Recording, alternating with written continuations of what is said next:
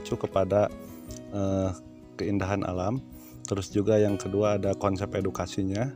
Terus ada konsep kuliner, ada juga konsep untuk uh, mainan dan uh, tempat tinggal sementara.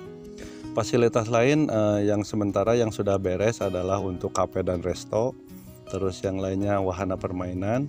Uh, di antaranya adalah flying hammock, uh, terus uh, giant swing, terus pumping, terus uh, downhill sama uh, mini cross. Untuk uh, yang lainnya yang akan segera dibangun adalah uh, konsep untuk uh, waterboom.